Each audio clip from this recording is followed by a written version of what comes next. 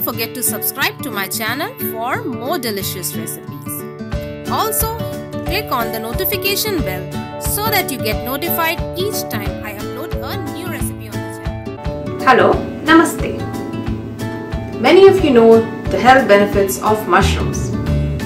And probably you love mushrooms. That's why you're watching me today. Mushroom lovers, there are a few recipes on my channel for you to check. Today also I have a mushroom recipe to share with you. That's pasta with mushrooms. This one is a very easy, very cheesy recipe without the use of too much of cheese. Let me show you how to make this easy peasy cheesy pasta recipe. Please note the ingredients needed to make mushroom pasta. List is also given in description below. First of all, I will tell you how to wash mushrooms properly. Take mushrooms and just rinse them under running hot water. Do not soak them in hot water. Just rinse them, scrub with your hands and keep in a colander.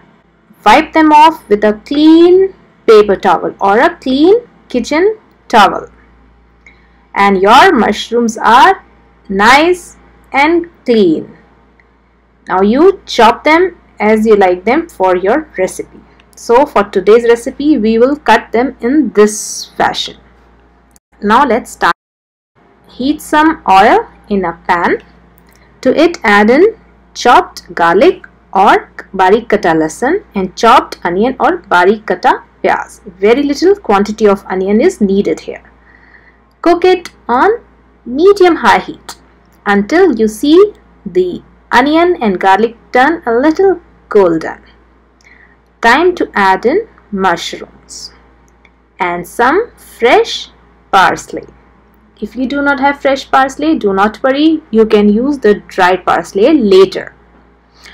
Cover and reduce the heat to medium so that the mushrooms cook on medium heat for about 2 to 3 minutes. After which, when they are soft and you can pierce a knife into it, time to add in boiled, fully cooked pasta.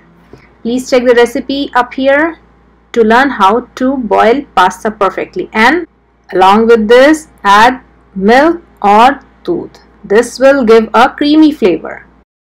Add Italian herbs that's oregano, basil, parsley and red chili flakes.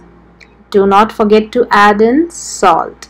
Mix well and at this time add some water that was left from boiling of pasta. It has flavors to add into your pasta. Cover and cook for another 4 to 5 minutes on medium low heat. Now pasta is done add in some dry parmesan powder. Add some fresh black pepper powder. Mix well. Before serving, add in some fresh parsley and some extra virgin olive oil.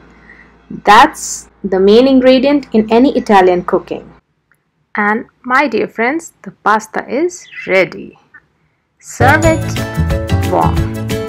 Enjoy it for your lunch or dinner with your family and friends. Thanks for watching.